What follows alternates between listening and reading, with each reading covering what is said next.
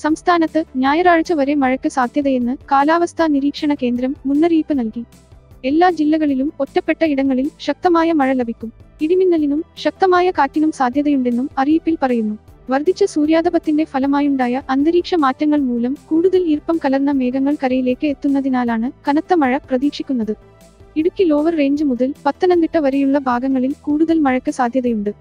ഇന്ന് വ്യാഴാഴ്ച രാത്രിയോടെ മഴ ശക്തമാകാനും സാധ്യതയുണ്ട്. ബംഗാൾ ഉൾക്കടലിൽ ആൻഡമാൻ കടലിൽ ഇന്നലെ രൂപപ്പെട്ട ചക്രവാതച്ചുഴിയും മഴയ്ക്ക് കാരണമാകും. ചക്രവാതച്ചുഴി നാളെ ന്യൂനമർദ്ദമായി ശക്തി പ്രാപിച്ചേക്കുമെന്നാണ് കാലാവസ്ഥാ വിഭാഗം അറിയിച്ചിരിക്കുന്നത്.